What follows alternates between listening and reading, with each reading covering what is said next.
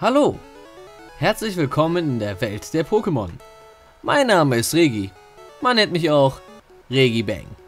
Und damit begrüße ich euch herzlich zu meinem Zuchttutorial zu Pokémon X und Y und zu Pokémon Omega Rubin und Alpha Saphir.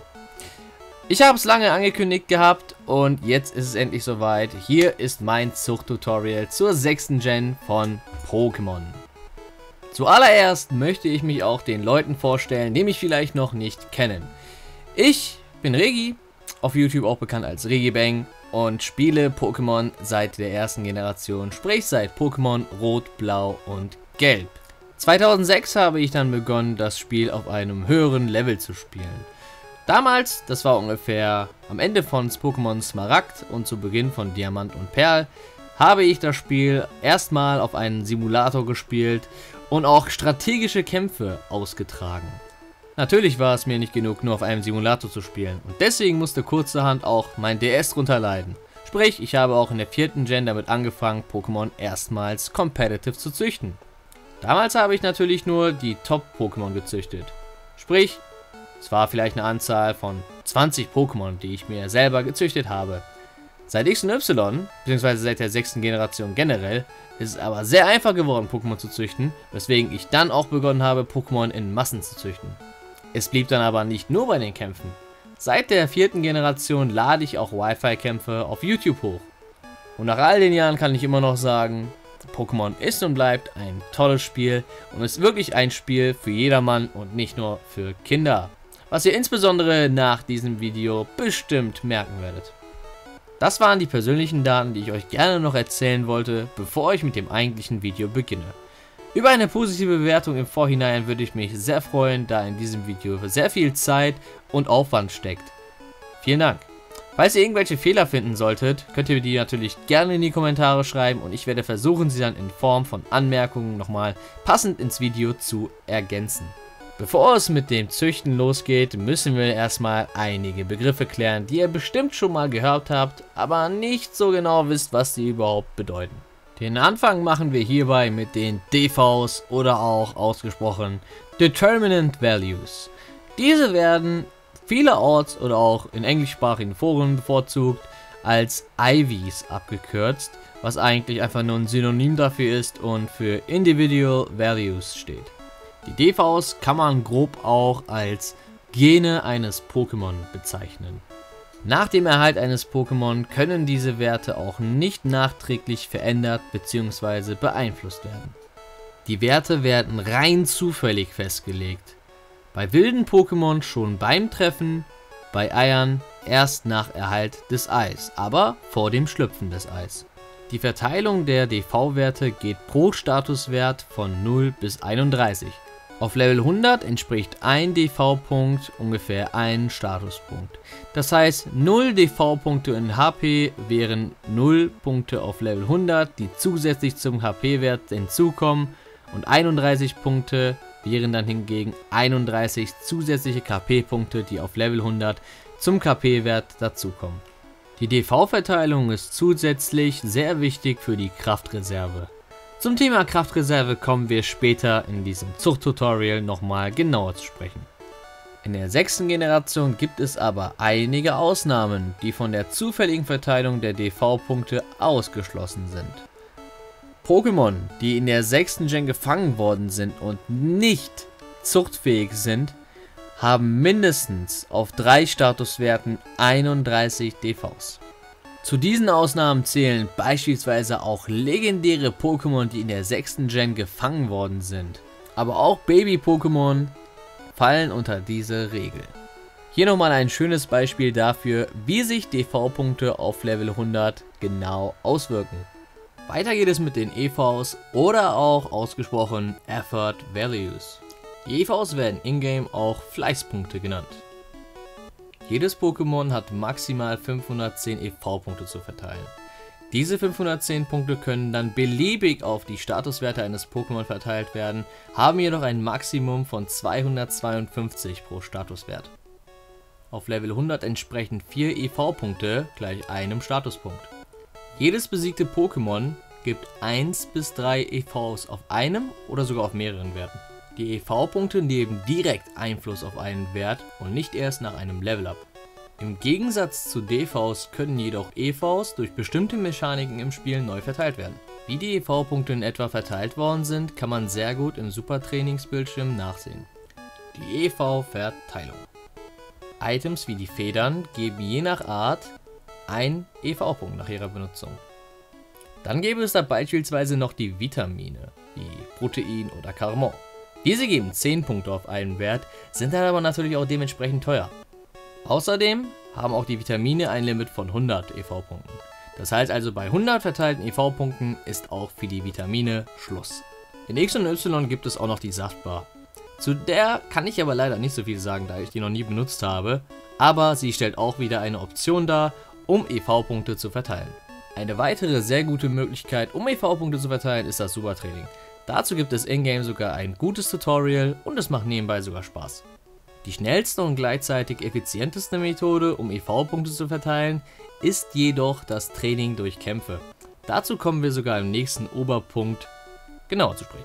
Man kann EV-Punkte aber auch resetten oder einfach nur senken. Das funktioniert ganz einfach mit bestimmten Bären. Diese werden in-game sogar ausgeschildert und senken einen bestimmten Wert um satte 10 Punkte. Um die kompletten EVs zu löschen, kann man auch einen Tabula Rasak in Supertraining benutzen. Dieser löscht ganz einfach und effizient sämtliche EV-Punkte, die auf einem Pokémon verteilt worden sind. EV-Verteilung mit Training. Jedes Teammitglied, das Erfahrungspunkte nach Besiegen eines Pokémon erhält, bekommt EVs. Das gilt natürlich auch für Pokémon auf Level 100, auch wenn das bei denen nicht angezeigt wird. Welche Pokémon jetzt natürlich welchen EV-Punkt verteilen oder welche EV-Punkte, hängt natürlich von Pokémon zu Pokémon ab. Ähm, generell steht das aber in den meisten Online-Pokédexen. Man muss halt nur suchen. Ich empfehle hierfür beispielsweise für deutsche Seiten Pokefans oder auch PokeWiki. Ähm, wenn ihr auch englischsprachig unterwegs seid, könnt ihr auch gerne Cerebi ausprobieren. Falls ein Pokémon aber den Pokerus drauf hat, verdoppelt sich für das Pokémon sogar die Anzahl der erhaltenen EV-Punkte. Das ist sehr praktisch und beschleunigt nochmal zusätzlich das Verteilen der EV-Punkte. Auch das Machu-Band verdoppelt die Anzahl der erhaltenen EV-Punkte für den Träger. Macht-Items wie das Machtgewicht oder die Machtkette geben nach jedem besiegten Pokémon plus 4 EVs auf den für ihnen bestimmten Wert. Dabei ist es egal, was für EV-Punkte das besiegte Pokémon gibt, plus 4 auf den bestimmten Wert gibt es immer. Der Pokerus und die Macht-Items bzw. das Macho-Band stacken sich sogar. Das heißt, man kann beide sogar zusammen benutzen, um noch größere Mengen EV-Punkte auf einem Pokémon zu verteilen. Hier mal ein paar Beispiele. Wenn ein Pokémon das Macho-Band trägt und zusätzlich den Pokerus hat und ein Pokémon besiegt, das einen EV-Punkt gibt, gibt das Pokémon nicht einen EV-Punkt, sondern satte 4. Man nehme den einen EV-Punkt, nehme ihn mal 2 für das Maroband, dann nochmal das Ergebnis mal 2, also 2 mal 2 und man kann auch 4 Punkte. Bei den Macht-Items sieht es etwas anders aus. Wenn man ein Pokémon besiegt, das ein EV-Punkt in der HP gibt und dann zusätzlich noch das Machtgewicht und den Pokerus drauf hat auf einem Pokémon, sind das ein EV-Punkt plus 4 für das Machtgewicht und dann das Ganze mal 2. Die Punkt-vor-Strich-Regelung, die man normalerweise aus der Mathematik kennt, gilt hier dann nicht. Ich verlinke euch in der Beschreibung und hier als Anmerkung nochmal ein weiteres Video von mir, in dem ich nochmal auf das Thema EV-Training eingehe. Basiswissen zur Zucht. Jedes Pokémon gehört zu einer oder zwei Eigruppen. Eine Übersicht dazu findet ihr in jedem guten Pokédex, ich lasse euch aber am besten nochmal einen Link in der Beschreibung da. In der Regel können nur Pokémon derselben Eigruppe gepaart werden. Das Baby, das dabei rauskommt, ist stets das gleiche wie die Mutter. Dito kann jedoch mit fast jedem Pokémon gepaart werden. Auch Pokémon mit neutralem Geschlecht, wie zum Beispiel Magnetilo, können dank der Paarung mit einem Dito Eier bekommen. Das Baby von einem Dito und einem männlichen Pokémon ist das gleiche wie der Vater. Legendäre Pokémon außer Manafi können keine Eier machen, auch wenn sie ein Geschlecht haben. Ein Dito gepaart mit einem Dito, Incognito Nidorina, Nidoqueen und alle Baby-Pokémon sind zuchtunfähig. Zusätzlich dazu schlüpft jedes Pokémon unterschiedlich schnell aus einem Ei. Auch hierzu hat man eine sehr sehr gute Übersicht auf guten Pokédex-Seiten wie PokeWiki oder auch PokeFans. Link hierfür auch wieder in der Beschreibung. Nun kommen wir zur Grundausstattung, die ihr vor dem Züchten auf jeden Fall mitnehmen solltet. Eine ganz wichtige Sache, die ihr auf jeden Fall beachten solltet, ist, dass ihr ein Pokémon mit Flammkörper oder Magmapanzer in eurem Team habt. Dadurch schlüpfen eure Eier nämlich doppelt so schnell. Das beste Pokémon, das diesen Job meiner Meinung nach erledigt, ist Fiaro. Fiaro kann nämlich zudem auch noch Fliegen erlernen und kann halt als Ability Flammkörper haben. Wichtig ist zudem, dass ihr mehrere Synchro-Pokémon mit unterschiedlichem Wesen habt. Dies ist wichtig, falls ihr ein neues Pokémon züchten wollt, was ihr noch gar nicht habt. Wenn ihr nämlich ein Pokémon an erster Stelle habt, das Synchro als Fähigkeit habt, könnt ihr beim Encountern eines Pokémons mit einer 50%igen Wahrscheinlichkeit davon ausgehen, dass das Pokémon, dem ihr gerade begegnet seid, dieselbe oder dasselbe Wesen hat wie euer Synchro-Pokémon, das ihr gerade an erster Stelle führt. Zudem solltet ihr mehrere Ditos mit unterschiedlichem Wesen und oder unterschiedlichen DV-Punkten bei euch führen. Das ist auch wieder sehr wichtig und erspart euch bei der Zucht einige wichtige Schritte, zu denen wir später noch kommen. Der wichtigste Schritt, zu dem wir jetzt kommen, ist, dass ihr auf jeden Fall einen Ewigstein und einen Fatumknoten mit euch führt. Das ist extrem wichtig und auch der wichtigste Schritt zum Züchten von Pokémon mit guten DVs überhaupt. Natürlich solltet ihr die Pokémon-Liga schon besiegt haben und den Zugang zum Kampfresort, sprich zur Pension, erhalten haben. Am besten solltet ihr auch noch alle Macht-Items haben. Dies ist nicht ganz so wichtig wie alle Schritte davor, aber das kann euch auch in diversen Situationen auf jeden Fall noch eine Hilfe sein. Okay Leute, und jetzt sind wir in der Live-Section, denn nachdem wir das ganze theoretische Zeug durchgearbeitet haben, ist es noch eine ganz gute Abwechslung, dass wir jetzt auch noch mal ein bisschen Ingame-Material haben. Und ich werde euch jetzt die ganzen letzten Details und Feinschliffe perfekt zeigen. Und zwar live. Besser geht's auch nicht, ne? Ja, Leute, also die letzten Voraussetzungen, oder die Grundvoraussetzungen sind wir ja mittlerweile auch durchgegangen und deswegen zeige ich euch jetzt erstmal äh, mein einziges Teammitglied, das ich aktuell mit mir führe. Und das ist Firefly, mein Fiaro, und das hat natürlich Flammkörper als Fähigkeit, ja. Und es kann fliegen, was halt immer ganz gut ist. Das heißt, ihr habt ein Pokémon, das sowohl fliegen kann, als auch ähm, die Fähigkeit Flammkörper hat. Und das ist schon ziemlich praktisch in manchen Situationen. Und das halt alles nur in einem Teamslot. So, wir gehen jetzt erstmal komplett durch, wie man ein Pokémon gut züchtet. So, ich zeige euch jetzt nochmal hier die Grundvoraussetzungen live. Ich habe euch ja gesagt, ich habe zum Beispiel eine Box mit ganz, ganz, ganz, ganz, ganz vielen Abras. Und, äh, Moment, die Abras sind hier. Beziehungsweise Simsalas, die haben sich teilweise auch entwickelt. Und die haben alle Synchro als Fähigkeit und ein anderes Wesen. So, Leute. Ich habe das Thema Wesen, glaube ich, noch gar nicht besprochen, aber dazu kommen wir jetzt auch nochmal. Jedes Pokémon hat ein Wesen. Und das Wesen sehen wir dann halt, äh, wo war das jetzt? Hier, genau, auch, auch schon hier in dem Screen. Screen, Verzeihung. Oder war es hier in dem Screen? Ne, wir sehen es hier. Das ist das Wesen. Beispielsweise dieses Abra hat ein Wesen, das äh, Solo ist. Und dann können wir jetzt an den Hand, äh, oder Hand der Statuswerte sehen, dass es in einem Wert einen 10%igen Boost hat, in einem anderen einen, ja, 10%igen Nachlass, sage ich mal. Ja, hier sehen wir zum Beispiel, das rot markierte ist der Boost und das blau markierte ist dann halt, ja, das Minuswesen. Ja, Solo ist dann zum Beispiel ein Wesen, das gibt Plus Angriff, Minus Verteidigung, sehen wir. Und es gibt insgesamt, ich meine, 27 verschiedene. Eine Auflistung findet ihr auch wieder in der Beschreibung. Also immer schön einen Blick reinwerfen. Und ich habe halt ganz, ganz viele von denen. Und wie schon gesagt, das ist immer ganz wichtig, wenn ihr jetzt zum Beispiel ein Pokémon haben wollt, es irgendwo in der Wildnis fangt und dann halt mit Abra an eurer ersten Stelle seid oder halt generell mit einem Pokémon mit der Fähigkeit Synchro. Ja, dadurch habt ihr eine 50%ige Wahrscheinlichkeit, dass zum Beispiel mit diesem Abra das Pokémon, das ihr fangt, dann halt auch das Wesen froh hat. Kann euch dann nämlich einen Zwischenschritt ersparen, indem ihr dann nicht das Wesen vererben müsst. So, das ist aber nur am Anfang wichtig. Ihr könnt diesen äh, Schritt eigentlich auch überspringen. Und falls ihr das Pokémon schon gefangen habt, könnt ihr dasselbe eigentlich auch mit Ditos machen, mit verschiedenen Wesen. Und äh, dazu kommen wir jetzt sofort. Also, ich habe ein Pokémon vorbereitet und das ist das Absol hier. So, wir gehen jetzt erstmal alles Schritt für Schritt durch. So, was sehen wir denn jetzt hier an diesem Absol? Dieses Absol hat erstmal ein mutiges Wesen. Das passt nicht. Also im Laufe der Zucht wollen wir dieses mutige Wesen, es gibt by the way Plus Angriff und Minus äh, das ist nicht gut für Absol. Wir wollen nämlich unseren Absol ein frohes Wesen geben. Genau, ein frohes Wesen. Das ist ganz, ganz, ganz, ganz wichtig. Und äh, dazu kommen wir dann erstmal gleich. Dieses Absol hat zudem noch die Fähigkeit Redlichkeit. Das ist die versteckte Fähigkeit von dem Absol. Die wollen wir drauf behalten. Die ist nämlich recht die brauchbarste auf Absol. Und ähm, ja, damit wären wir nämlich auch bei der Ver Vererbbarkeit von versteckten Fähigkeiten. Versteckte Fähigkeiten können nämlich seit der 6. Gen vererbt werden, Leute, ja? Ganz, ganz, ganz, ganz wichtiges Thema. Ähm, der, aber nur, oder eigentlich größtenteils wirklich nur mit der Zucht mit Ditto.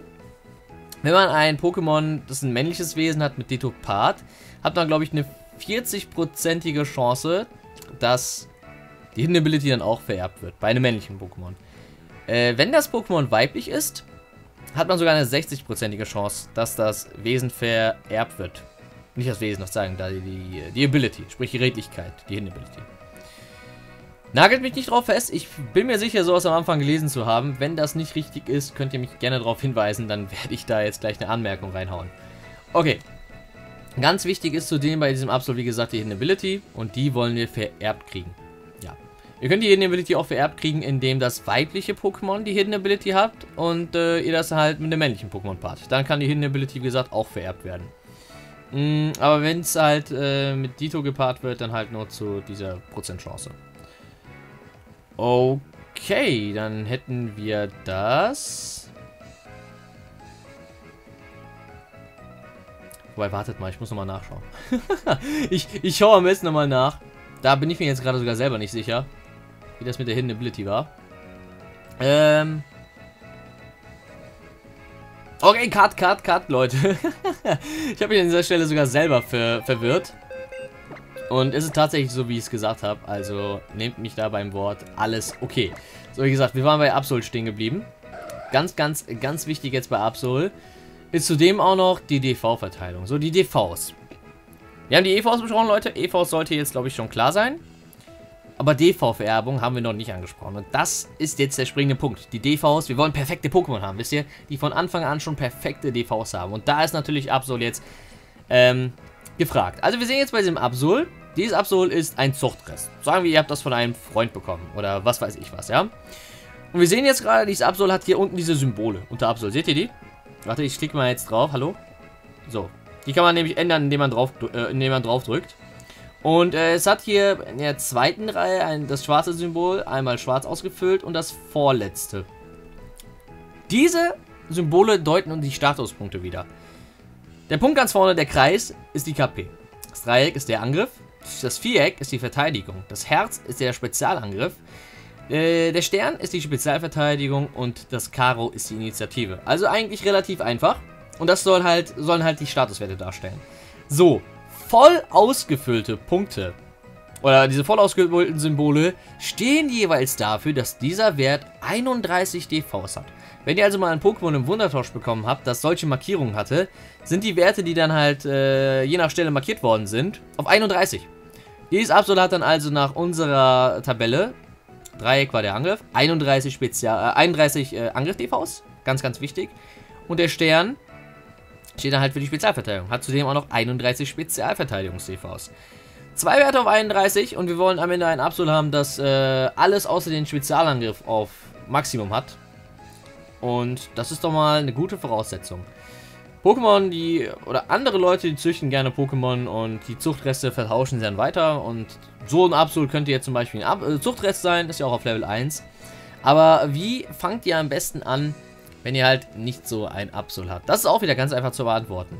Bei X und Y gab es ja die guten alten Kontakt-Safaris. Ja, in der Kontakt-Safari hat jedes Pokémon, was ihr dort gefangen habt, zwei Werte fix auf 31 gehabt.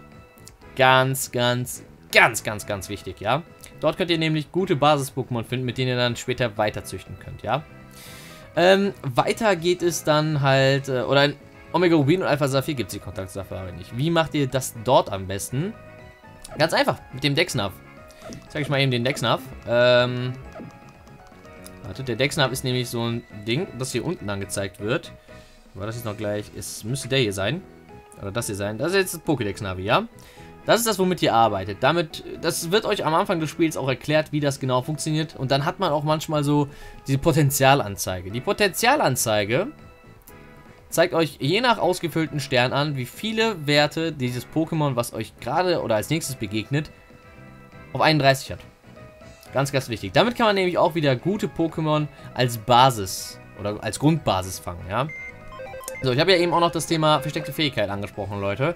Dann äh, komme ich nochmal auf die versteckte Fähigkeit zu sprechen. Wie bekomme ich denn jetzt ein Pokémon mit einer versteckten Fähigkeit? In X und Y gab es die Kontakt-Safaris. Pokémon, die man in der Kontakt-Safari gefangen hat, können unter Umständen versteckte, eine versteckte Fähigkeit da haben. Ähm, in Hordenkämpfen können bestimmte Pokémon auch nochmal ihre Hidden Ability haben. Zu einer bestimmten Prozentchance. Ich weiß gar nicht um wie viel Prozent, aber auf jeden Fall ist es in Hordenkämpfen auch möglich, dass das Pokémon die Hidden Ability hat. Und in Oras ist es auch wieder möglich, dass Pokémon in der, oder die mit dem Dexnav sucht oder fangt, auch wieder die Hidden Ability haben können. Und das wird euch sogar unten angezeigt, bevor ihr diesem Pokémon, das ihr als nächstes begegnen könnte, begegnet. Und zwar wird das dann halt mit dem Ausrufezeichen markiert. Da steht dann halt für die Hidden Ability. Ganz, ganz wichtig, wenn ihr Hidden, ein Pokémon mit einer Hidden Ability haben wollt, habe ich auch zwischendurch mal angewendet in Pokémon Omega Rubin und Alpha Saphir. Und äh, das ist auch eine recht schnelle Methode. Also da bekommt ihr das Pokémon bestimmt so in 10, 15 Minuten. Also dauert also maximal 10 bis 15 Minuten. Dauert wirklich nicht lange. Und äh, generell ist das mit dem Dexnav eigentlich recht angenehm. So, ich glaube, damit hätten wir dieses Absol jetzt eigentlich sogar schon komplett fertig. Zuchtattacken wollen wir noch keine haben. Vor allen Dingen, weil das Absol männlich ist. Wenn wir Zuchtattacken drauf haben wollen, soll das Absol auch noch weiblich sein. Also, was ist jetzt also unser erster Schritt? Wir nehmen jetzt dieses Absol, packen es ins Team und suchen uns eins unserer Ditos, was passt, äh, was dazu passt. So, wir hätten da jetzt beispielsweise, was passt dazu? Das hier. Das 6x31 DV-Dito. Das ist ziemlich gut. Das habe ich von einem Freund bekommen. Und wirklich, Leute, wenn ihr die Möglichkeit habt, an einen 6x31 DV-Dito zu kommen, holt euch das. Ja, diese werden in diversen Tauschforen online angeboten. Und äh, diese bieten halt wirklich die beste Dito-Basis überhaupt an, um halt Pokémon zu züchten. Ähm, das ist halt insbesondere ganz, ganz, ganz, ganz wichtig, weil ich gleich nochmal was zur DV-Vererbung sagen werde. Ich kann jetzt aber anstelle von diesem Dito noch ein anderes nehmen. Ich kann zum Beispiel, ich suche jetzt nach einem mit einem frohen Wesen, damit wir das Wesen schon mal vererbt bekommen. Leider habe ich keins, das ist ein bisschen schade. Das heißt also, wir nehmen das 6x31er Dito. Und ja, das sollte eigentlich passen. Generell solltet ihr wirklich ein Dito nehmen, was auch schon irgendwelche DVs hat oder sowas in der Art, auf 31. Bietet sich an. Dito gibt es nämlich in der Kontaktsafari in X und Y zu fangen. Und dort haben wir, wie wir wissen, Dito oder generell Pokémon, die dort gefangen werden, immer zwei Werte fix auf 31. So, Leute. Jetzt kommen wir zu dem Thema mit dem Ewigstein und dem Phantomknoten. Ganz, ganz wichtig. Also, wir wollen, dass das Baby, was jetzt dieses Absol dieses Dito bekommen, dass das ein frohes Wesen hat. Der Ewigstein sorgt dafür. Der Ewigstein sorgt jetzt nämlich dafür, dass das Pokémon das das Item jetzt bei der Zucht trägt, sein Wesen zu 100% an das Baby weitervererbt. Da wir jetzt auch ganz, ganz viele Absols haben wollen, die dann halt ein frohes Wesen haben, geben wir jetzt unserem Dito den Ewigstein. Das heißt also, wir haben jetzt zu 100% garantiert, dass wir bei der Brut, die jetzt vor, vor, zwischen Absol und Dito da rauskommt, dass die Absols alle ein frohes Wesen haben. 100% Garantie. So, jetzt kommen wir zum Fahrtumknoten. Und das ist wirklich das Item, was das Züchten in X und Y extrem einfach gemacht hat. So, normalerweise, wenn wir jetzt nicht das Fahrtumknoten oder den Fahrtumknoten benutzen, wird ein DV-Wert von unserem Absol, eins von dem Dito und das dritte wird dann random zwischen irgendwie beiden äh, per RNG ausgewählt. Und die, diese drei Werte, also eins von Absol, eins von Dito und eins von irgendeinen der beiden, was ganz zufällig ist, wird dann an das Baby weitergegeben. Das klingt an sich schon echt viel. So, aber wisst ihr was? Wie wäre es denn, wenn wir jetzt aus diesen drei Werten satte 5 machen? Das Wartungsknoten besagt nämlich, wir passen jetzt zwei Werte oder DV-Werte von dem Absol und zwei von dem Dito fix weiter, aber das war's noch nicht. Und dann der fünfte, der wird dann wieder ganz zufällig ausgewählt. Kann jetzt ein dritter von Absol sein oder ein drittes von Dito. Es wird aber auf das Baby weitergegeben. So. Okay, schön und gut, denkst du dir. Und ja, das ist, das ist, das ist auch unglaublich nice, wirklich, Leute. Diese Ergänzung, die gab es vorher nicht. Die gab es jetzt nur ähm, in, in, in, in den Spielen. In Omega Rubin, Alpha Saphir und Oras. Und deswegen schmeißen wir jetzt die beiden auch in die Pension. Dito und Absol. Und dann wollen wir ganz, ganz, ganz, ganz, ganz, ganz, ganz, ganz viele Babys von ihnen haben. So, was haben wir jetzt fix garantiert? Dank des Ewigsteins wissen wir, ey, richtig, da kommt jetzt auf jeden Fall, oder die Absols, die dort jetzt rauskommen werden, die haben auf jeden Fall ein frohes Wesen. Und die werden auf jeden Fall in irgendeiner Form mindestens ein Wert auf 31 haben. Oder sogar zwei. Weil ja zwei dank des Phantomknotens von Dito weitergegeben werden. Und deswegen suchen wir jetzt eigentlich äh, nach einem Absol. Ja, okay, die beiden scheinen sich zu vertragen. Das ist jetzt ganz wichtig. Es kann jetzt ein bisschen dauern, bis die beiden erstmal ähm, Eier bekommen. Deswegen fahren wir jetzt hier einfach mal rum. Zwischendurch reden wir dann halt immer mit dem Kind. Und dabei kann ich noch ein bisschen erzählen. Und, ah, da, du wirst es nicht glauben, deine Pokémon haben ein Ei. Und wir wollen das Ei natürlich haben. So, ich mache das jetzt in der Regel immer so. Ich fahre so lange rum, bis ich äh, fünf Eier habe. Ja, das ist halt das Maximum, was wir tragen können. Ich zeige euch mal den unteren Bildschirm jetzt eben. Wartet. Das ist das Maximum, was wir haben können. Hallo. So, Moment. Zack. Wir haben jetzt ein Ei mit uns und dann halt unser Fiaro. Und äh, jetzt sind sogar zwei Eier. Und so lange machen wir jetzt die ganze Zeit weiter, bis wir satte drei Eier haben. Ja, und dann gucken wir mal weiter. So, aber das Wichtigste ist jetzt halt, wie gesagt, mh, mm, dass wir die Pokémon aus den Eiern kriegen, dass sie ein frohes Wesen haben. Das, das, das ist fix. Und dann haben wir auf jeden Fall zwei Werte. Wir wissen nicht, welche zwei Werte, aber die werden zwei Werte auf 31 haben. So, und wisst ihr was? Ich äh, will nicht, dass ihr jetzt die ganze Zeit hier rumwartet. Deswegen werde ich, glaube ich, an dieser Stelle am besten einen Cut setzen. Okay, Leute. So, da wären wir. Wie wir jetzt an, oder wie ihr jetzt anhand des unteren Bildschirms seht, habe ich jetzt satte 5 Eier in meinem Team. Perfekte Ausbeute. Somit kann ich jetzt erstmal anfangen, die Eier auch auszubrüten. Und wisst ihr, wie wir das perfekt machen? Wir benutzen, oder wir fahren jetzt nicht direkt los im Kreis und so weiter und so fort, um Gottes Willen. Wir benutzen jetzt nämlich die O-Kraft. Wartet mal, Brutkraft. So, wie das funktioniert, woher die, die Bootkraft bekommt, die äh, auch nochmal die Ei, äh, benötigten Eischritte äh, senkt. Das könnt ihr auch nochmal, äh, oder da werde ich auf jeden Fall nochmal eins meiner Videos rein verlinken. Auch wieder sehr, sehr interessant, wie man die Bootkraft bekommt. Und auch eine der wichtigsten O-Kräfte, wie ich finde. Verkürzt einfach nochmal das äh, Rumgezüchte um einiges. Und äh, das Beste ist natürlich, ihr, ihr denkt euch jetzt, ihr müsst jetzt die ganze Zeit rumfahren und so weiter und so fort. Aber nein, ihr könnt jetzt irgendeinen Button benutzen. Ja, und ich zeige euch jetzt eine Route, die ziemlich geil ist. Also, wir stellen uns jetzt hier in die Ecke und drücken jetzt einfach das Steuerkreuz nach oben. Und wir halten das Steuerkreuz nach oben jetzt einfach die ganze Zeit gedrückt. Ja, wir fahren jetzt nämlich einmal komplett um die Insel und drehen uns die ganze Zeit im Kreis. Perfekt, Leute. Also man könnte meinen, Game Freak hat hier an die Spielerbasis gedacht, die ihre Pokémon züchten und hat einfach diese äh, Route hier aus Prinzip eingeführt und es ist einfach nur geil, Leute. Wirklich, ich drücke die ganze Zeit nur aufs Steuerkreuz nach oben und unser Protagonist fährt die ganze Zeit im Kreis herum. Das ist unglaublich gut, unglaublich nice und ja, ich weiß nicht. Er ist entspannt, Leute. Ihr könnt ja zum Beispiel irgendwie nur so einen Button draufklemmen oder ihr könnt das einfach machen, während ihr nebenbei Fernseher schaut. Okay, wer, wer guckt heutzutage noch Fernsehen? Wenn ihr nebenbei eine Serie schaut, wenn ihr nebenbei ein Anime guckt oder wenn ihr, was weiß ich, auf dem Balkon sitzt und euch gerade den Sternenhimmel anschaut. Ihr könnt das einfach immer schön nebenbei machen.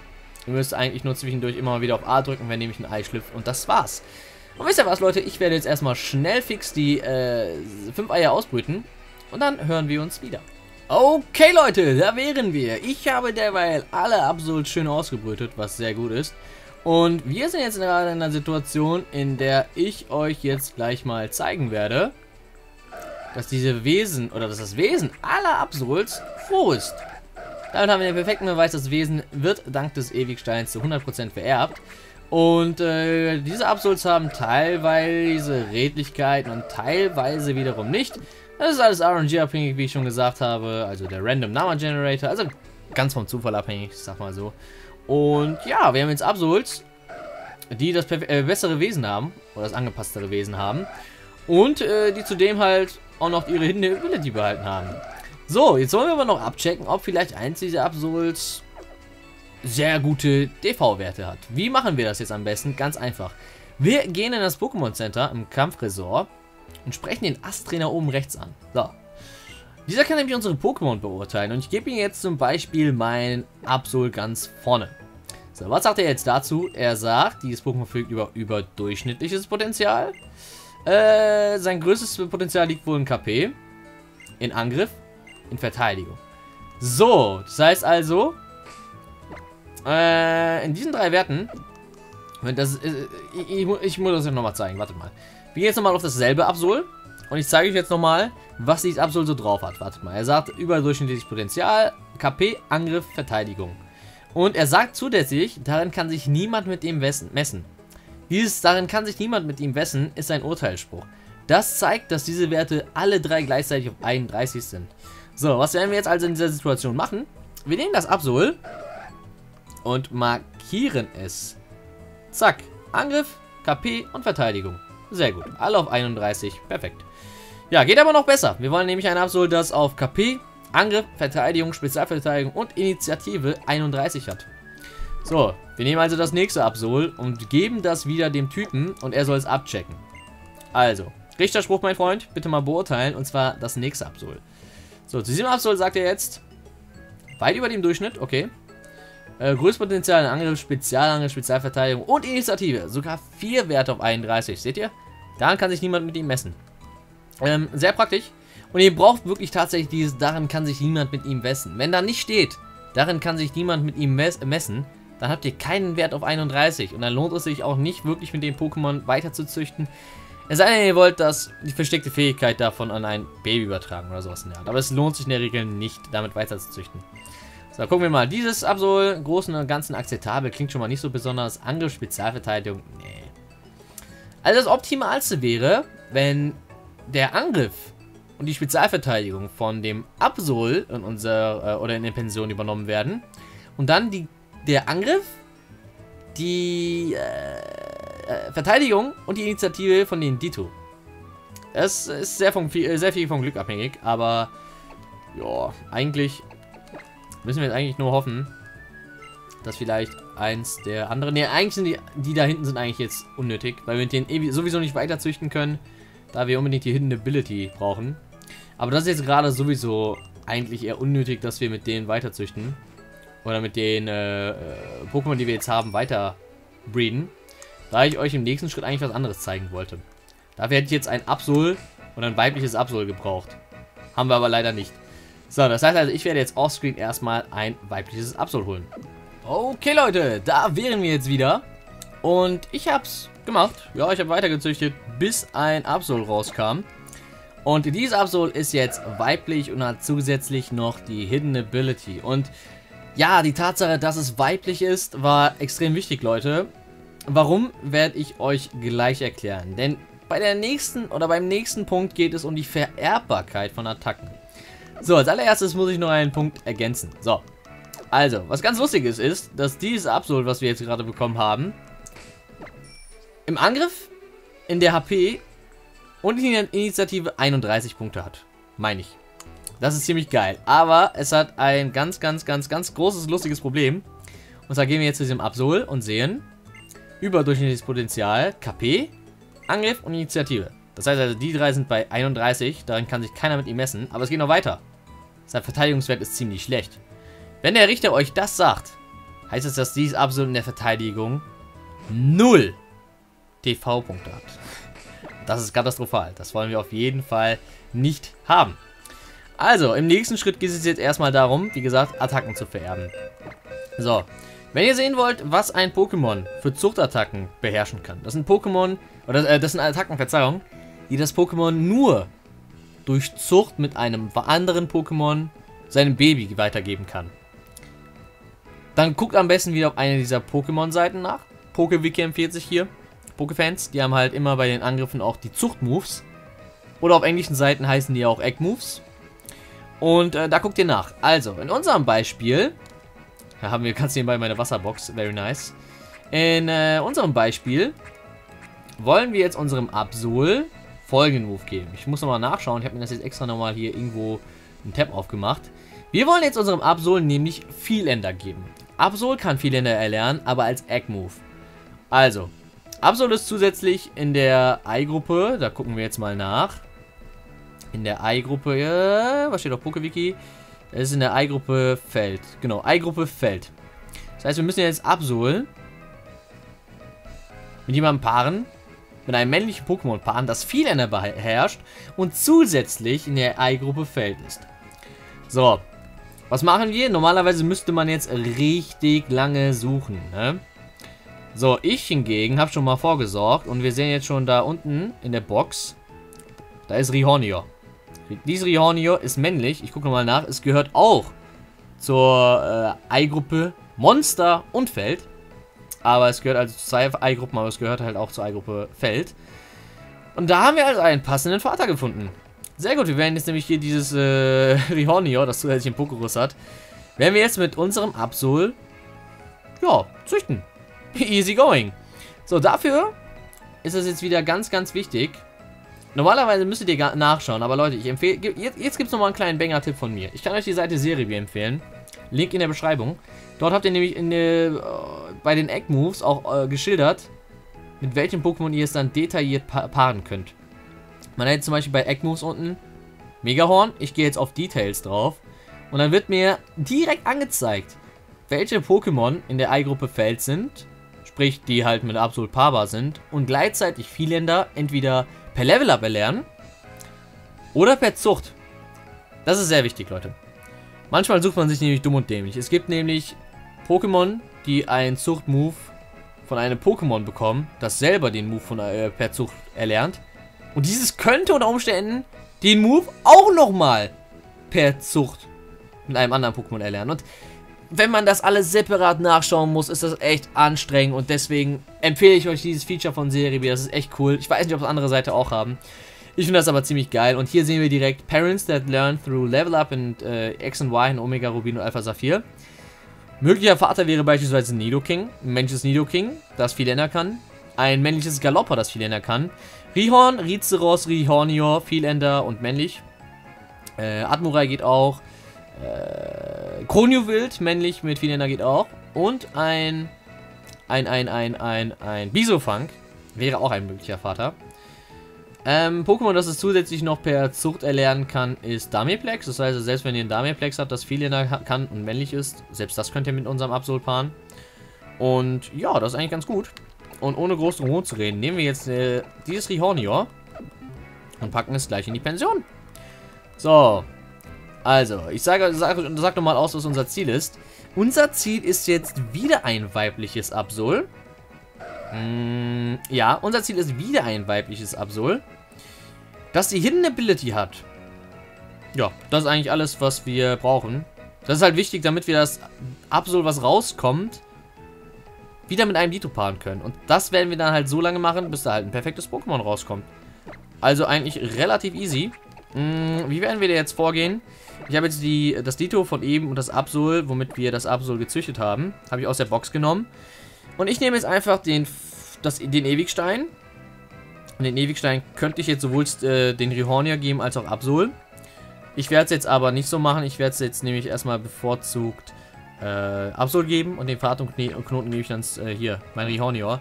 Es ist eigentlich in diesem Fall sogar irrelevant, wem ich was gebe, weil beide ein frohes Wesen haben. Aber eigentlich solltet ihr schon wieder den Ewigstein dem Pokémon geben. Ja, dessen Wesen ihr weitervererben wollt. Es ist von mir ein bisschen äh, unachtsam gemacht. Ich sollte jetzt, oder ich hätte jetzt am besten diesen Rihorni ein anderes Wesen geben sollen. Zu Demonstrationszwecken. Aber was soll's. Wir machen es jetzt halt auf jeden Fall erstmal so. Mm, wir geben jetzt das Absol und das Rihornior auf die Box. Und dann werden wir jetzt erstmal hoffen, dass vielleicht das Kind, was rauskommt, einfach sogar schon mal perfekt ist. Ich meine, wir haben jetzt ein Pokémon, das äh, 3 DV-Werte auf 31 hat. Und das andere hat 5 auf 31. Das heißt also, prinzipiell ist die Chance eigentlich sogar höher als eben, dass das Kind, was rauskommt, perfekt ist. Ja, ist natürlich wieder von RNG abhängig. Das heißt also vom Glücksfaktor. Es kann sein, dass wir es beim ersten Versuch direkt kriegen. Ist aber unwahrscheinlich. Ähm, aber gut, wisst ihr was? Wir werden jetzt erstmal so lange weitermachen. Oder ich werde jetzt erstmal wieder skippen. Bis wir unsere erste Zuchtwelle wieder haben. Von daher, Leute, bis gleich.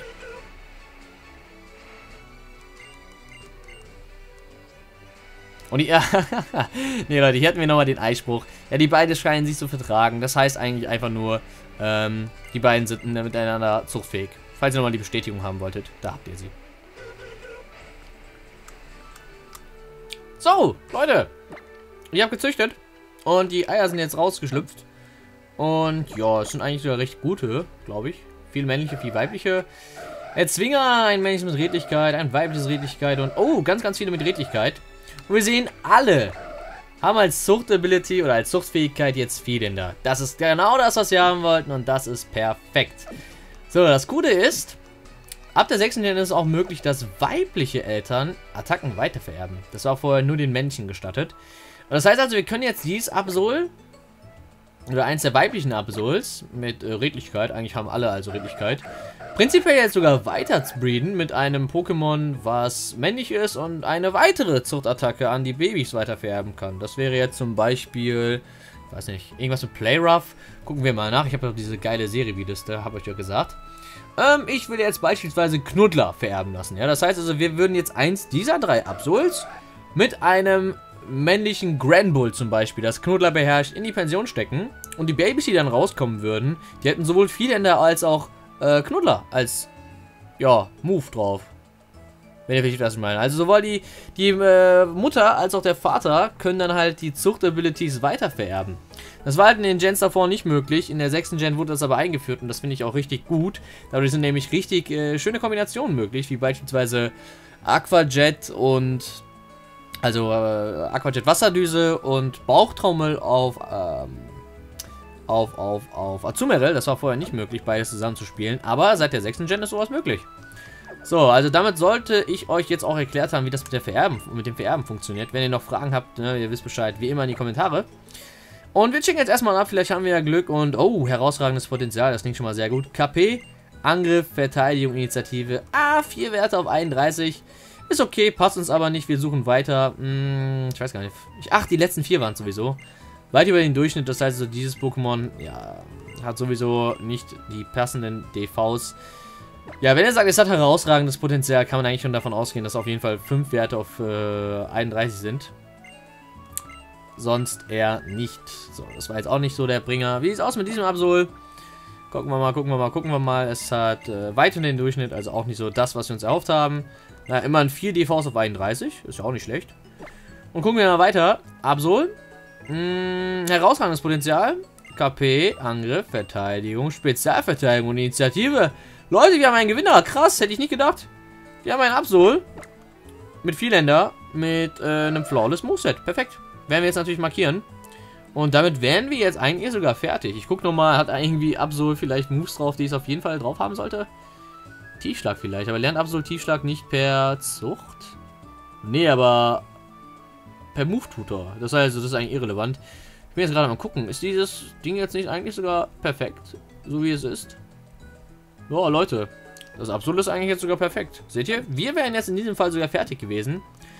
Äh, wir hätten jetzt natürlich nochmal weitermachen können, indem wir dieses Absolut mit einem Vater in die Pension stecken, das der, die T-Schlag kann. Da würden wir uns die äh, Gewinnpunkte sparen, die wir dann für den Move-Tutor auf, äh, ausgeben.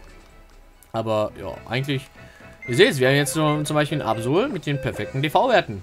So schnell kann das gehen. Das hat mich jetzt vielleicht, ich gucke jetzt gerade auf die Uhr, nicht mal eine Stunde gekostet. Also zum Verhältnis zu damals ist das schon extrem schnell, wenn ihr mich fragt. So, das heißt, den Rest können wir jetzt erstmal äh, freilassen. So mache ich es in der Regel, weil ich halt auch teilweise Boxprobleme habe. Aber dieses Absol werde ich mir jetzt als Erinnerungs- oder zu Erinnerungszwecken aufheben. Das ist nämlich echt cool. Hätte nicht gedacht, dass es so schnell klappt. Und ihr habt ja gesehen, Leute, wir haben angefangen mit einem Absol, das keinen Zuchtmove hatte. Es hatte das falsche Wesen und äh, was hatte es noch? Es hatte falsches Wesen. Es hatte nur zwei Werte auf 31 und das ist natürlich zu wenig gewesen. Jetzt haben wir hier ein Flawless Absol. Also fast Flawless. Nicht schlecht. Äh, das Absolut kann ich jetzt eigentlich sogar auch freilassen. Das brauchen wir auch nicht mehr. Sehr gut. Und ja, das Dito mit dem Leben Hop. das waren wir jetzt zu den anderen Ditos. Ja, Leute, zum Dito, äh, Thema Dito wollte ich jetzt noch was sagen. Ich empfehle euch wirklich auf jeden Fall Ditos zu holen, die wie das hier aussehen. Wenn ihr keinen 6er Dito habt, holt euch einen 5er. Wenn ihr keinen 5er habt, holt euch diese 2er oder 3er, denn mit denen ist es viel gemütlicher zu züchten. Und äh, ja, so schwer ist es jetzt auch nicht, einen 6er Dito zu bekommen. Ich meine, ich zeige euch mal das hier. Ich habe einen 6er Dito hier. Ich habe einen 5er Dito hier mit 0 Angriff äh, EVs, was auch ganz, äh, DVs, Verzeihung, was auch ganz praktisch ist.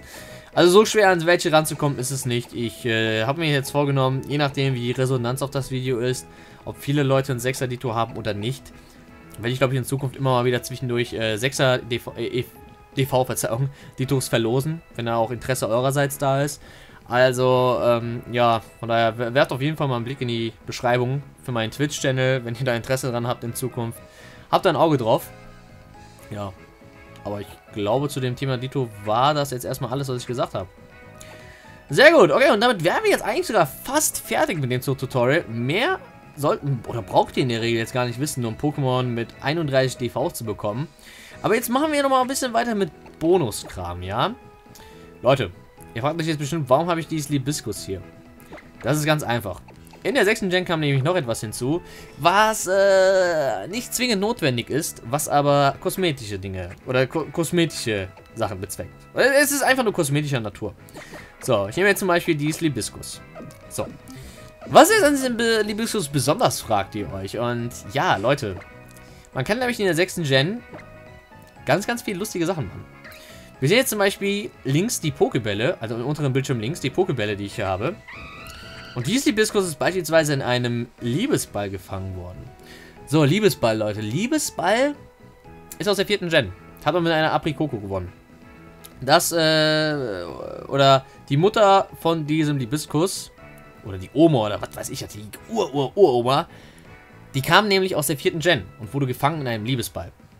Man kann nämlich seit der sechsten Gen auch Bälle auf die Babys übertragen. Früher war es so, Baby-Pokémon, die aus einem Ei geschlüpft sind, die waren, kamen immer aus einem Pokéball raus. So, jetzt ist es aber möglich in der sechsten Gen, auch diese Bälle auf die Babys weiter zu passen. Das ist insofern möglich, ähm, dass ihr, ihr braucht dann halt dafür eigentlich nur das Pokémon, was ihr haben wollt, weiblich zu fangen. Denn nur die Pokebälle der Mutter werden dann weiter vererbt. Wenn ihr jetzt ein männliches Pokémon habt und ein Ditto, und das männliche Pokémon jetzt ein Liebesball oder ein Liebesball gefangen worden ist, dann wird das nicht weitervererbt. Es wird tatsächlich nur von weiblichen Pokémon wei äh, weitervererbt, selbst weibliche Pokémon, die mit Sicho gezüchtet worden sind. Ganz, ganz wichtig und für mich zum Beispiel, für jemanden, der seine Pokémon auch stylisch raushauen will, war das eine richtig coole Neuerung. Und ihr seht es ja zum Beispiel bei diesem Liebeskuss, das Pokémon wurde gefangen in, oder die Oma, wie gesagt, in der vierten Gen. Und ich kann euch garantieren, äh, ich habe da noch weitere Beispiele, nicht nur dieses Libiskus. Ich könnte jetzt dieses Libiskus in die Pension stecken, aber ich sage euch mal so, das Ergebnis wird auf jeden Fall ganz, ganz viele Libiskusse sein, die dann halt in ähm, Liebesball rauskommen. Und ja, das ist jetzt eigentlich egal. Ich meine, wenn ich es euch theoretisch erkläre, passt das ja schon. Ja, und äh, dadurch kann man halt auch kosmetisch die Pokémon raushauen. Es ist deutlich umständlicher, diese Pokémon dann zu züchten, aber es hat dann teilweise echt seine Vorteile. So, ich kann euch zum Beispiel das Beispiel geben. Wartet mal, wo habe ich jetzt meine Elektro-Pokémon? Da. Ich habe jetzt zum Beispiel dieses Voltenso. Guckt euch das mal an, dieses Voltenso, Leute. Dieses Voltenso ist tatsächlich äh, ziemlich stylisch. Und schaut euch mal an, was im Pokéball ist gefangen worden ist. Wartet mal, kann ich das hier irgendwo nachgucken? Achso, das wird mir gar nicht angezeigt. Das wird mir nur hier angezeigt, nehme ich an. Ja. Oben links, Leute. Ähm, wie ist der Ball, in dem es gefangen worden ist? Ich glaube, es ist ein Schnellball? Hieß der so? Quickball? Nein, wie hieß der, wie hieß der Ball? Ich weiß nicht mehr, was das für ein Ball ist. Äh, ist aber ein besonderer Ball auch aus der vierten Gen. Und ich kann euch garantieren, Leute, wenn ihr Pokémon habt, die mit diesen Aprikoko-Bällen gefangen worden sind. Leute, macht ganz, ganz viele Eier davon und bietet die in, der, in Tauschbörsen an. Das müssen weibliche Pokémon sein, die dann halt, äh, oder die Kinder sollen am besten Weibchen sein mit denen dann halt die Leute, denen ihr die Pokémon schickt, weiter tauscht. Äh, mit denen die Pokémon, ne, mit denen die Trainer, so, denen ihr die Pokémon schickt, weiterzüchten können. Diese Dinger sind sehr gefragt unter äh, Pokémon-Sammlern, die ihre Pokémon auch noch hübsch gestalten wollen. Faules Pokémon, die äh, in solchen Bällen gefangen worden sind, sind sehr, sind sehr begehrt. Aber auch die äh, einfach Zuchtreste von den Pokémon mit 2, 3 DVs, die aber weiblich sind und dann halt in diesen Bällen gefangen worden sind, sind sehr beliebt. Das heißt also, wenn ihr eins von denen habt, Leute, ist eine Goldgrube, wirklich. Also mit denen könnt ihr in Tauschgruppen äh, schon recht viel verlangen. So ein kleiner Geheimtipp von mir und diese sind unter Sammlern halt sehr gefragt und ja, es, es, sieht, es sieht halt echt stylisch aus. Ich gucke gerade, habe ich da noch ein Beispiel. Ich habe ich habe zum Beispiel, stimmt, wartet mal hier, ich kann jetzt zum Beispiel bei den Gestein-Pokémon reingehen. Äh, wo ist das Geowatz? Guckt euch das mal an, Leute. Das Geowatz auch gefangen in einem Schwerball. Problem ist bei diesem Geowatz, ich kann es halt leider nicht mehr weiter, äh, ich kann, die, ich kann den Kindern von diesem Geowatz jetzt nicht mehr den Schwerball weiterbegeben, weil es halt männlich ist. Aber wenn es weiblich gewesen wäre, man könnte es tatsächlich nochmal runterhauen. Auf die Kinder und diese dann Tauschbörsen anbieten. Sind sehr gefragt, wie gesagt, und Das kann ich euch wirklich nur ans Herz legen. Sehr, sehr, sehr, sehr, sehr, sehr guter Geheimtipp von mir, wenn ihr mich fragt. So, was ich euch noch sagen wollte jetzt, zu guter Letzt an Bonusmaterial, wo ich auch immer wieder gefragt werde, es sind zum Beispiel diese Dittos. Jetzt fragt ihr euch bestimmt, was ist an diesen Dittos so besonders, Regi? Wasser, Feuer und Eis. Das, Leute, sind Dittos, mit denen ich, früher jedenfalls, Kraftreserven auf meine Pokémon gehauen habe. Wir wissen, wir kennen alle Kraftreserve. Kraftreserve ist Strategie sehr guter Move. Kann, kann unterschiedliche Typen annehmen.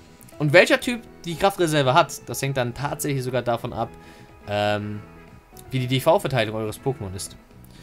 Ich kann euch zum Beispiel das oder eins meiner Greninjas zeigen, weil ich mir bei der EV-Verteilung nicht sicher bin. Was war das? Ich glaube, das hier war es. Genau, es, es war das hier. Dieses ähm, Greninja hat zum Beispiel die Kraftreserve Feuer. Da sehen wir an der EV-Verteilung. 31 Angriff, 30... Ne, 31 AP, DVs, 30 Angriff, 31 Verteidigung, 30 Spezialangriff und 31 Spezialverteidigung und 30 Speed ist der Split für Feuer. Oder einer der Splits. Ist einfach der beste Split, sag ich mal, für Feuer. Und wenn ihr halt eins äh, der oder wenn eins eurer Pokémon dann halt auch die passende Kraftreserve haben sollte, solltet ihr auf jeden Fall mit den passenden DV Ditos breeden. Ja, zum Beispiel jetzt hier Feuer. Ich habe es nicht markiert. Ich soll es am besten markieren. So, zack. Markieren wir mal. Das ist jetzt das Feuer-Dito. Und das tue ich dann halt mit einem 5DV Pokémon, auf dem ich die Kraftreserve Feuer drauf haben will, in die Pension. Und hoffe dann halt einfach, dass die passenden Werte weiter vererbt werden. Nämlich die 3 30er Werte von, von Ditto beispielsweise.